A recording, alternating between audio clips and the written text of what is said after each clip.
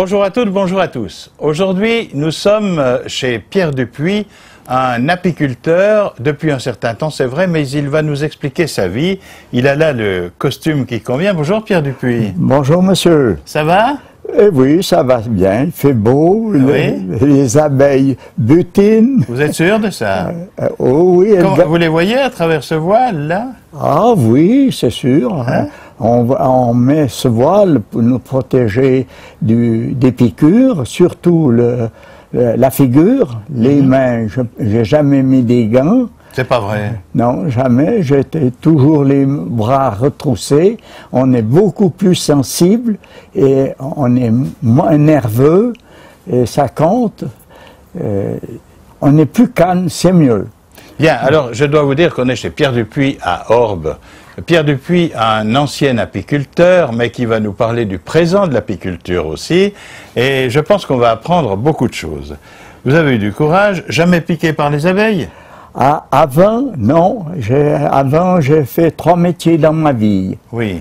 J'ai été paysan et à, à l'âge de 16 ans, je suis parti en Suisse allemande et après, je suis revenu et j'ai été fermier de mon papa Oui. et le domaine s'est vendu et je suis venu, j'ai appris chauffeur euh, à, à Lausanne avec la maison Tardy et après j'ai été engagé au Moulin Rod.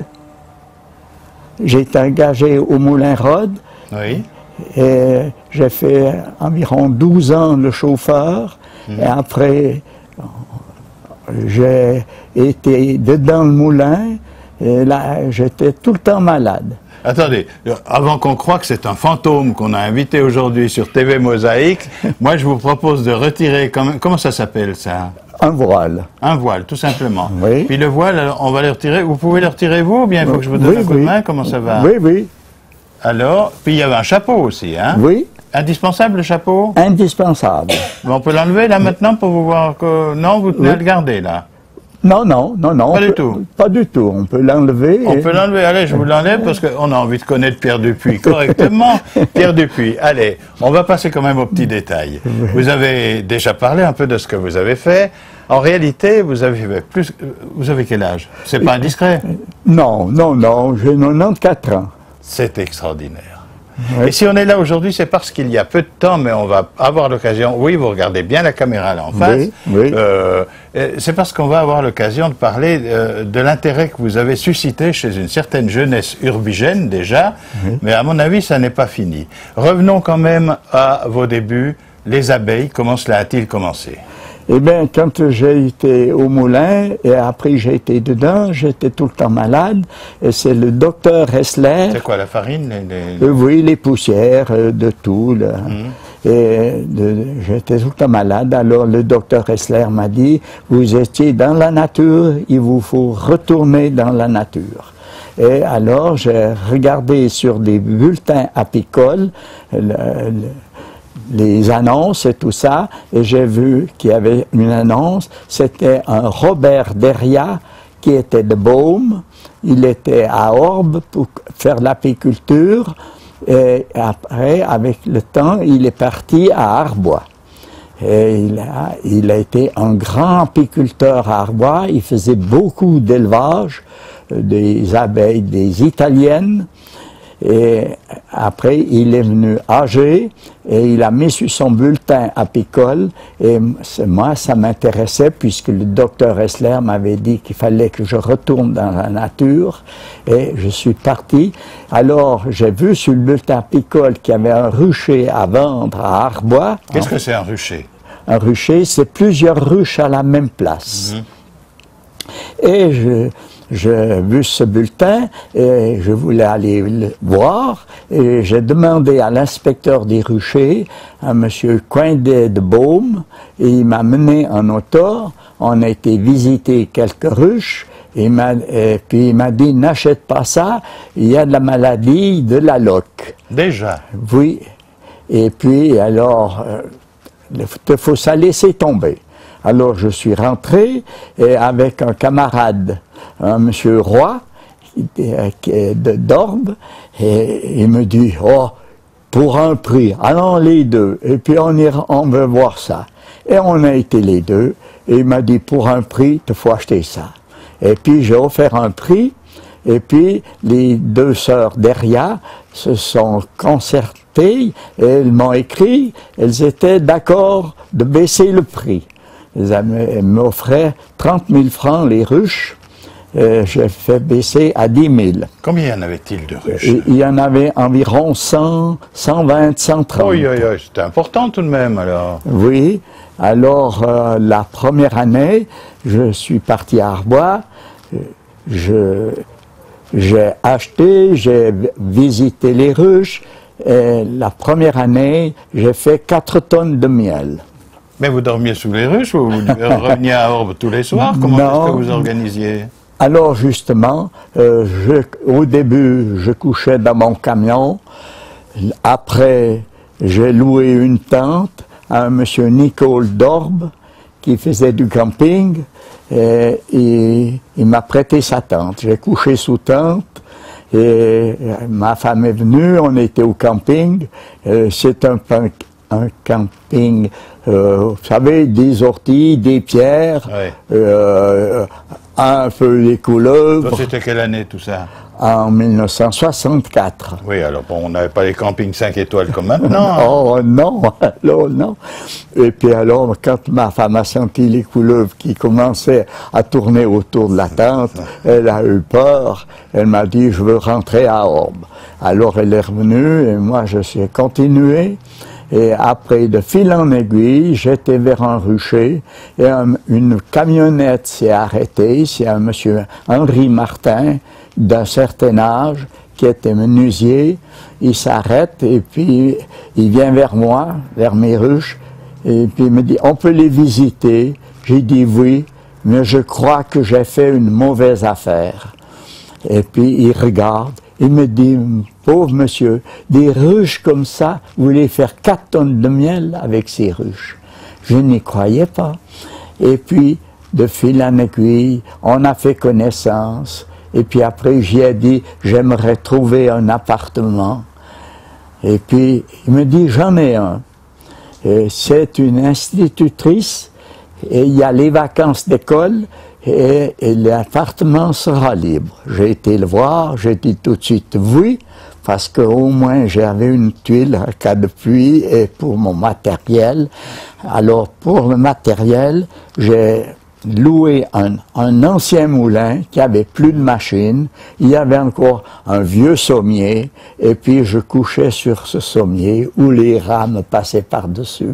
Pendant... Ah, voilà, j'allais dire c'était des vacances, mais s'il y avait les rats dessous, c'était pas intéressant. Quoi. non, non, pas du tout. Pas du tout. Alors, euh, j'ai continué et j'allais toujours vers mes ruches et puis un jour, alors, je suis, j'ai acheté une, une deux chevaux pour aller vers mes ruches et pour venir à Orbe. Ah, j'ai tout fait mon travail avec une deux chevaux. J'avais à ce moment-là environ 100, 140, 150 ruches. On met, on met 4 tonnes de miel dans une deux chevaux? J'ai tout charrié, mes 4 tonnes avec ma deux chevaux, deux pierres bois à Orbe. Et à la douane, c'était un monsieur Carrard, chef des douanes. Alors, je voulais remplir mes formulaires. Alors, j'ai dû demander à Berne un permis d'importation. J'étais un importateur. Mhm. En France, euh, j'ai voulu être en ordre en France avec les autorités. Quand je suis arrivé, j'ai été à la gendarmerie, je leur ai dit je veux être en ordre avec les autorités, il faut me dire ce que je dois faire. Et ils m'ont dit on ne peut pas vous répondre, il vous faut aller à la mairie. Et puis j'ai été à la mairie, et à la mairie, j'aurais dit ce que j'avais fait, acheter les ruches à Robert Derrière, et je veux être en ordre avec les autorités. la municipalité m'a répondu qu'il ne pouvait pas me, me répondre, qu'il fallait que je m'adresse au percepteur des contributions. J'ai été à Poligny, vers le percepteur des contributions, et puis j'y explique ma situation. Il savait, lui? Non, il savait pas. Et puis, je lui explique ma situation. Il me dit, je peux pas vous répondre. Il faut que je m'adresse à Paris. Vous reviendrez dans un mois ou deux. Il savait ce qu'étaient les abeilles à Paris? Et puis alors, j'ai été au bout d'un mois. Il m'a dit, Monsieur Dupuis, en Suisse, vous avez des belles tables avec des beaux tapis verts. Eh bien, vous êtes dessus juste au bord. On ne peut rien vous faire. Alors, j'ai très bien. J'ai dit, on va aller boire un verre. Et puis, il m'a dit, non, c'est l'heure du travail, je peux pas. Et puis, alors, il- Ouais. on est parti, la réponse est venue, après j'ai pu me développer, après voilà que on m'a demandé aussi la sécurité sociale, Oui, mais bien sûr, là-bas. la, la sécurité sociale, et puis euh, j'ai dit non, je ne veux pas. Bah, vous étiez assuré en Suisse, là. J'étais assuré en Suisse, Oui. je ne veux pas. Il m'a dit, vous êtes un, vous êtes un dur. J'ai dit non, les lois sont faites comme ça. Je suis Il- Dupuis, vous lui avez dit. oui. Et puis, alors, ils, se sont informés. J'ai dit, il faut vous informer à Paris euh, à cause de la sécurité sociale, la retraite, l'AVS et tout ça. Et puis, alors, ils ont eu la réponse de Paris que ils ne peuvent rien, c'est mon domicile qui fait foi. Bah, très bien. Alors écoutez, maintenant, moi, je souhaiterais maintenant que nous parlions un peu des abeilles, parce qu'il y a plusieurs races, catégories. Vous pouvez nous indiquer deux, trois choses, là? Eh bien, oui.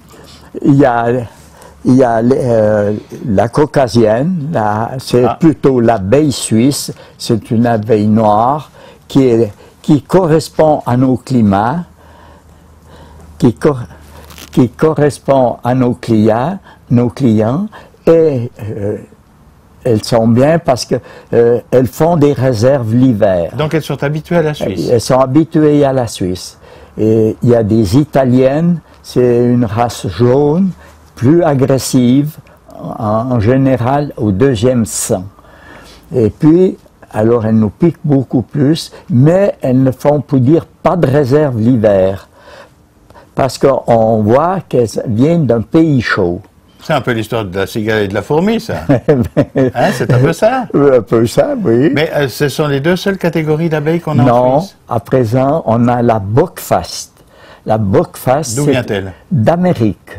Mhm. C'est une ruche, qui, une abeille qui, eh, qui correspond bien avec, pour nos climats. Elles font des réserves l'hiver. Elles sont douces, plus ou moins douces. Elles ne nous piquent pas facilement. Et, et- elles sont bien pour nos climats. Vous avez eu ces trois catégories vous-même. Euh, oui, au départ. Et sur le plan de, de la- de- de ce qu'elles donnent comme miel, est-ce qu'il y en a qui sont plus intéressantes que les autres Euh, euh, oui, oui. la- L'abeille noire, elle fait des réserves pour elle. et, comment faut-il dire Elle, quand il y a des mielés, ça bosse, ça bosse beaucoup.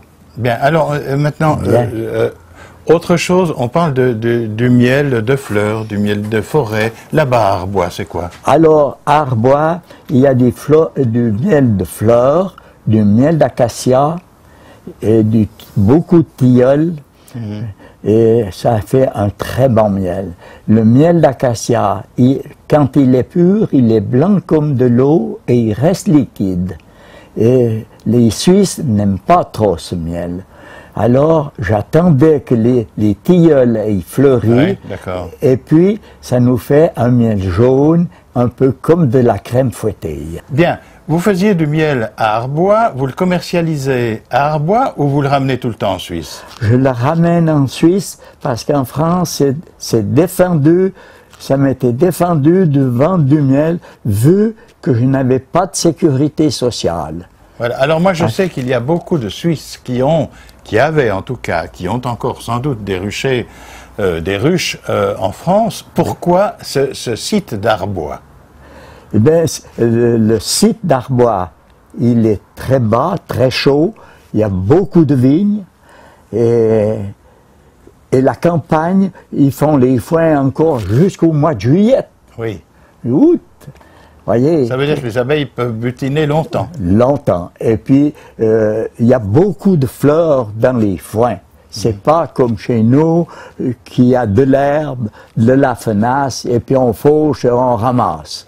En France, l'herbe est sèche, on la fauche, et on- souvent c'est les vaches qui viennent pâturer, parce qu'ils ont des grands troupeaux de, de vaches.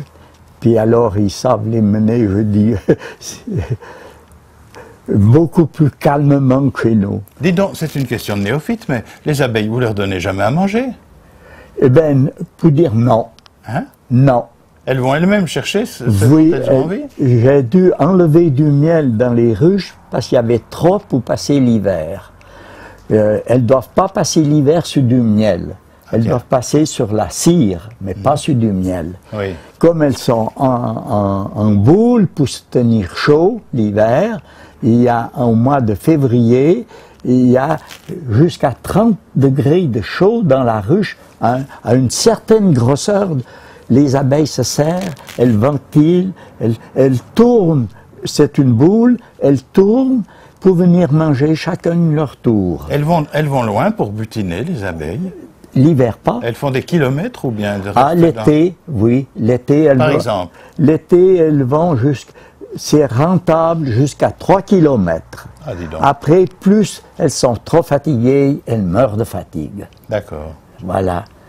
Et puis alors, l'hiver, elles ont préparé le miel, elles l'ont operculé, une petite couche imperméable, il y a de l'acide formique dedans pour le conserver, il y a de l'eau, il y a du pollen, il y a tout pour quand au printemps, au mois de février, mars, elle commence, la reine commence à pondre, les abeilles commencent à préparer une petite bouillie, si on veut, du pollen, de l'eau, du miel, comme une maman prépare une bouteille pour un bébé. D'accord. C'est à peu près le même principe. Et vous, vous faisiez tout là-bas, la mise dans les bocaux, tout ça, tout se Oui. à Arbois? Oui, je fais tout, je mettais tout en bocaux et en bidon à Arbois. J'ai acheté des petits bidons de 3 kilos pour les familles, les kilos pour les célibataires. J'avais préparé Ah, parce qu'un célibataire, c'est un kilo de miel. parce qu'il parce qu'il n'a pas besoin de tout à la plus, fois. ouais. Et oui, et- mais alors je faisais un prix pour les kilos Ouais. et un certain prix pour les ménages. Vous en avez vécu, en fait. Ah oui Vous n'aviez que ça comme... euh, c'est indiscret, mais quand même. Euh, je- je vous- ah, Et puis du miel en rayon.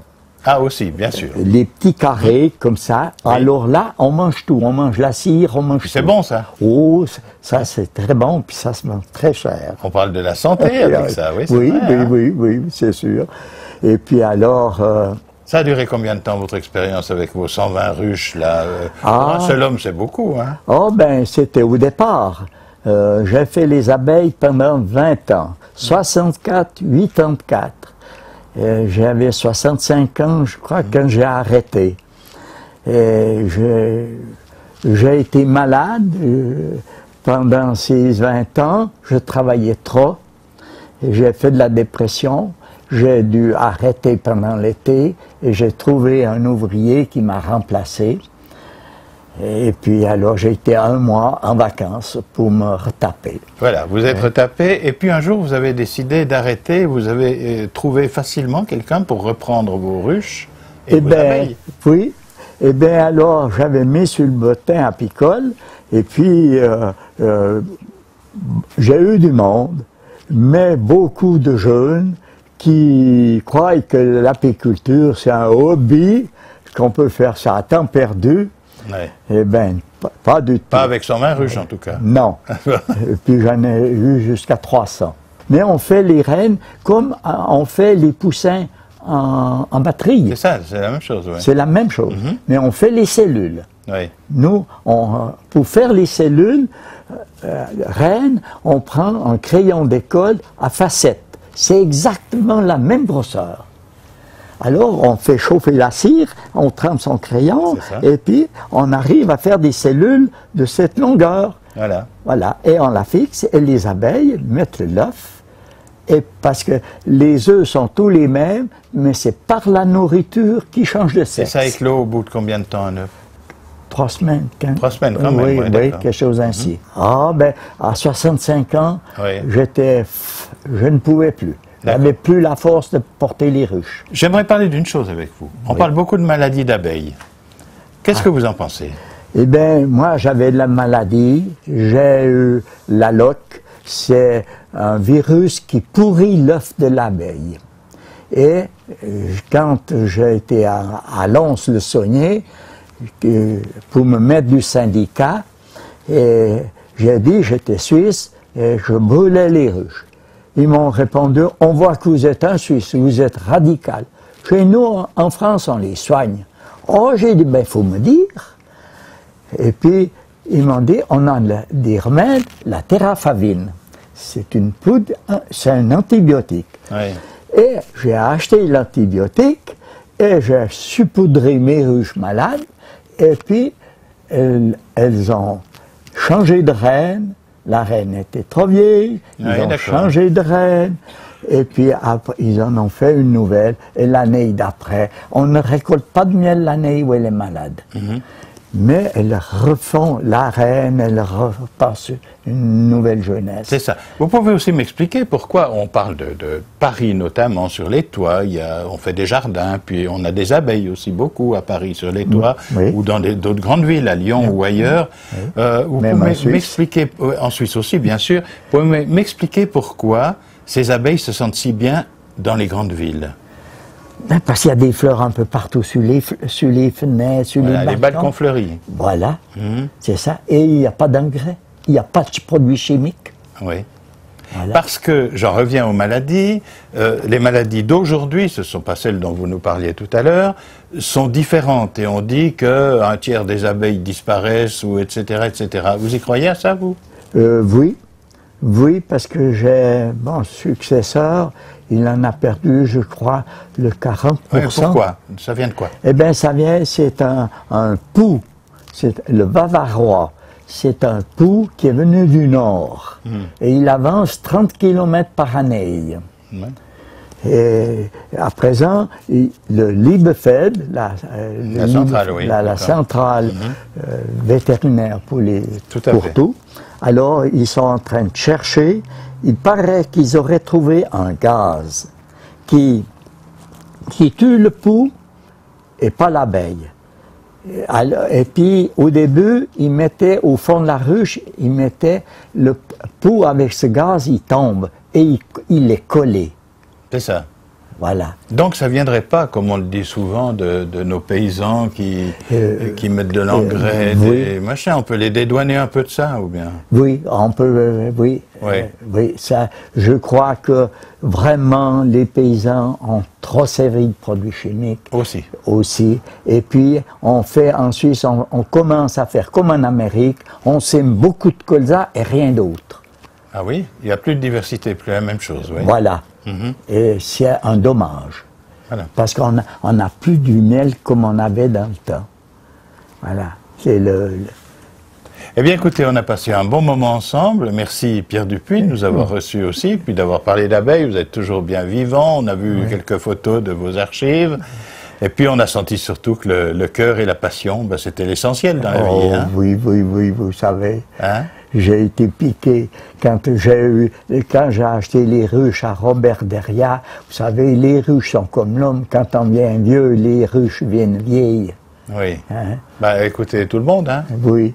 Et Ouais. puis, alors, la première année, j'ai été euh, chercher de la terre glaise pour boucher les trous, pour porter les ruches à la montagne, pour pas qu'on soit trop piqué. Oui. Hein? Une année, j'avais pris un transporteur, on avait mis environ, une- oh, en tout cas 60 ruches sur le, sur le camion. On arrive dans un village, ça s'appelle Andelot, la, la lame maîtresse du camion a cassé. Oui. Impossible de continuer. Alors, le patron du camion me dit, ben, je sais où il y a le garagiste, on va aller taper à sa fenêtre, parce que c'est pendant la nuit que ça, d'accord. quand j'arrive. Et on va aller taper à sa fenêtre et puis il nous prêtera un véhicule pour aller chercher un autre chez lui. Alors il, nous a prêté un citron tube, comme on dit. Et puis on est parti à Arbois chercher un autre camion et on a transporté les ruches, les décharger, les recharger. Et puis en- pendant ce temps qu'on était à Arbois, il y en a un mauvais sujet qui a été ouvrir les ruches. Et puis on était en plein village, en pleine nuit, sous un lampadaire Et alors? Noir d'abeilles. Et il fallait avoir du courage pour prendre ces ruches pleines d'abeilles partout. Il avait la poitrine mais rouge de piqûres. C'est lui qui l'a voulu. Et, euh, je- tout seul, je ne pouvais rien faire. Bien sûr. Dites-moi, euh, avant de se quitter, j'aimerais qu'on parle de la jeunesse, de l'intérêt de la jeunesse pour les abeilles, pour les ruches, pour euh, votre passion. Et je sais que récemment, à Orbe notamment, dans une école, dans une classe, vous avez fait une conférence. Et vous avez eu un succès fou avec ces jeunes, je ne sais pas quel âge ils avaient, mais enfin, euh, vous, à 94 ans, vous êtes allé leur expliquer les abeilles, c'est-à-dire la nature, quoi, Oui, tout simplement. oui. Euh, vous avez confiance dans la jeunesse, espoir en elle quand vous avez vu cette réaction jeunes? Ah oui, ah oui, C'est encourageant pour l'avenir, ça. ah oui. Bravo en tout cas, à 94 ans de faire encore tout ça, de parler avec passion de ce que vous avez fait, de ce que vous aimez encore, et puis de nous avoir reçus ici sur Oui, les puis- mosaïques, aux rue d'Agier, tout simplement. Et puis j'ai été faire une conférence aussi aux écoles à Isserpité. Oui. Euh, Même intérêt. même intérêt. Très bien. Même intérêt. Alors, là, j'avais apporté du miel brun et du miel jaune, et puis on avait mis dans des assiettes avec des petites cuillères, et puis j'ai dit, euh, vous me direz lesquels vous aimez le mieux. Euh, Il y en a comme ça. Alors, il y, en a un, je vois toujours, un, il mangeait que du miel de sapin. Oui. Et puis alors, on que j'avais mis ce, ce costume fendu derrière Mhm. et j'avais donné tous les outils à chaque élève avait un outil de l'apiculture. Ah, c'est bien aussi ça. Ouais. Oui, les Alors- complètement. Complètement. Alors, euh, j'avais le chapeau, le masque, les pantalons, le lève-cade, la brosse, l'enfumoir. Euh, je faisais la fumée qu'avec des branches de sapin. Oui. Parce que la résine, les, les ruches pensaient que c'était le ruche qui prenait feu. Elles se gobergeaient de, de miel, et puis comme ça, pendant ce temps, elles ne nous piquaient pas. On vous écouterait des heures. C'est formidable. Merci Pierre Dupuis et bravo pour tout ce que vous avez fait, puis d'en parler encore avec ce bonheur aujourd'hui. Oui, oui. À bientôt. Mais oui, mais oui. Oh, ça, c'est c'est gentil, ça. Je suis content de que vous m'ayez fait euh, voir la vie d'un apiculteur qui aime les abeilles. Puis il faut les aimer, autrement on se fait, on se fait trop piquer.